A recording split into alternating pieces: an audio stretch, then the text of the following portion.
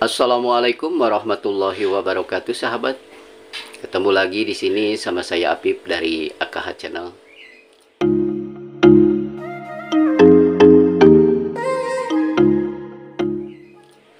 Di sini saya tahan intinya berbagi sharing buat sahabat semua seputar bonsai sahabat ya. Nah di hadapan sahabat semua ini adalah bahan bonsai hasil programan yang udah saya upload ke sahabat semua. Ada enam batang yang udah saya upload ke sahabat semua. Nah yang yang gede ini juga udah beberapa minggu saya upload terus yang ini juga tahapan-tahapannya udah saya udah saya share ke sahabat semua di video kali ini saya akan berbagi sharing bukan seputar tahapan membuat bonsai dari bahan bonsai pikus bunut ini sahabat ya di sini saya hanya berbagi sharing bahwa kita itu membuat bonsai kadang-kadang bahan itu itu itu aja sahabat ya. Padahal di sisi lain bahan kita itu banyak sahabat ya. Dari satu jenis pohon juga di sini saya mempunyai beberapa pohon. Nah untuk untuk mensiasati hal tersebut di sini saya akan berbagi sharing untuk memberikan label sahabat ya.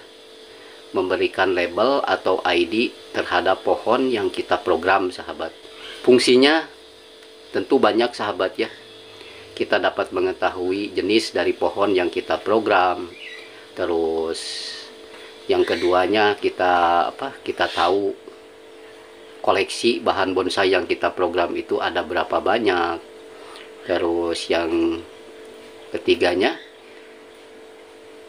penonton ataupun subscriber yang udah subscribe ke kita mereka nonton tahu bahwa bahan bonsai pikus bunut ini ada labelnya sahabat ya. Terus kalau misalkan kita nanti kita program nomor satu oh ini program nomor satu. Jadi mereka juga tahu tahapan dari bahan bonsai tersebut yang kita program sahabat ya nah di sini saya akan berbagi seputar itu sahabat ya di sini saya udah menyediakan label ataupun ID dari pohon yang kita program sahabat ya. Nah, seperti ini ada pikus bunut. Nah, di sini saya akan membuat label untuk pikus bunut dulu sahabat ya. Karena program-program saya lumayan ada dari mulai bunut, terus loa, iprik dan yang lainnya sahabat ya. Di sini saya akan memberikan label terhadap bahan bonsai yang saya program sahabat ya. Tadi keuntungannya udah saya jelaskan banyak sekali. Nah langkah pertama yang harus kita siapkan tentu tulisan seperti ini sahabat ya. Nah seperti ini. Terus kita kasih nomor sahabat ya seperti ID pikus bunut. Nah ini pikus bunut nomor satu nanti akan saya pasang di mana. Itu terserah dari sahabat semua sahabat ya. Kita sediakan tulisan yang mau di print mau diketik itu terserah dari sahabat ya mau ditulis tangan. Terus langkah yang keduanya kita laminating sahabat ya. Kita laminating biar nanti kalau misalkan kehujanan terus keanginan kepanasan ini tidak mudah rusak sahabat ya. Karena tertutup dengan plastik laminating ini.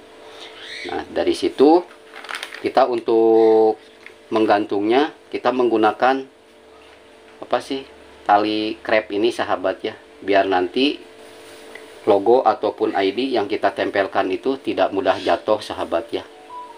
Nah di sini saya udah mempunyai pikus bunut udah saya udah saya udah saya progres udah saya ketik. Dari kertas-kertas ini juga ada pikus bunut satu pikus bunut dua sampai pikus bunut 16 sahabat ya. Tapi di sini saya mempunyai beberapa pohon nanti kalau misalkan kita progres pohon yang lain sahabat ya.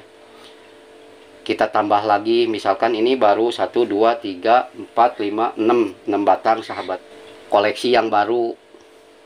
Kita kasih label lagi sahabat ya biar nanti penonton ataupun subscriber yang suka menonton channel kita itu tahu progresnya sahabat ya. Pikus mana nih yang yang yang diprogram terus pikus bunut mana ini yang diprogram karena kita udah mengasih label ini sahabat ya Nah, di sini kita tinggal masukkan saja si apa tali ini sahabat ya. Nah, seperti ini sahabat kita gantung di sini. Tapi usahakan posisi untuk apa? Untuk untuk mengikatnya kita kasih kasih jarak yang lebar sahabat ya biar nanti tidak mengganggu juga terhadap pertumbuhan dari bahan bonsai yang kita program. Nah, seperti ini. Kita kasih label. Nah, seperti ini. Jadi nanti kita progres. Misalkan bunut ini nomor satu. Oh pen, penonton yang suka nonton video kita juga. Oh tahu ini pikus bunut yang yang la, bu, walaupun kita apa bunut-bunut terus yang kita apa yang kita yang kita upload misalkan. Tapi penonton tahu oh ini nomor satu. Berarti progresnya udah sampai mana? Nah itu adalah keuntungannya sahabat ya banyak sekali keuntungan dari kita memberikan label ID terhadap pohon yang kita program sahabat ya. Nah seperti ini boleh dilihat ini tulisannya pikus bunut. Satu sahabat ya. Nah di sini udah saya kasih label. Satu berarti ini satu dua tiga empat lima enam sahabat ya. Sampai enam di sini saya udah menyediakan 16 takutnya nanti kita program lagi ada apa? Ada bahan bonsai bunut lagi yang koleksi yang lain nanti kita tinggal kasih label sahabat ya ini nomor satu nomor dua. Nah ini udah saya siapkan. Tiga terus empat 5 6 sahabat ya. Nah, berarti label ini udah yang diupload sama sahabat ini saya udah mengasih label sahabat ya. Yang diupload sama sahabat terus yang saya program. Berarti ini udah dikasih label sahabat ya. Nah seperti itu adalah salah satu teknik buat kita juga mempermudah untuk memprogram sahabatnya terus penonton juga yang menyaksikan video kita nggak bingung kenapa sih yang diupload pikus bunut lagi pikus bunut lagi? Tapi kalau kita kasih label seperti ini mereka akan tahu sahabat yo oh ini pikus bunut yang nomor satu. Berarti progresnya yang udah saya tadi jelaskan oh sudah sudah sampai di situ sahabat ya jadi yang menyaksikan video-video kita dari mulai tahap gerak dasar terus tahap apa? Tahap pemecahan batang tahap membuat karakter dari batang tersebut jadi tahu progresnya sahabat ya karena kita udah mengasih label dari ID pohon yang kita punya sahabat ya nah seperti ini udah saya lakukan. Terus yang keduanya ini satu sahabat ya. Ini ada 6 terus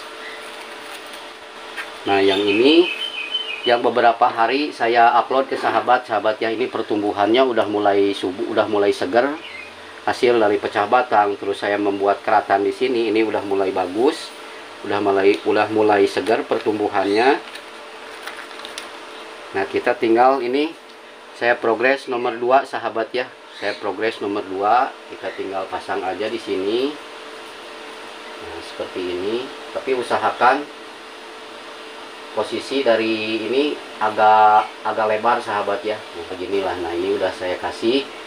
Ini ID pikus bunut nomor 2 sahabat ya terus kita lakukan secara berkala seperti itu sahabat ya misalkan kita nanti ada bahan bonsai lagi yang baru kita kita kasih label lagi sahabat ya misalkan ini sampai 6 terus nanti ada lagi bahan kita kasih lagi label sampai 7 jadi nanti kita mengulang lagi ke satu program. Jadi penonton juga akan tahu progres bonsai yang kita program itu udah sampai mana sahabat ya Mungkin itu saja sedikit sharing berbagi seputar membuat label ID dari pohon yang kita program sahabat ya.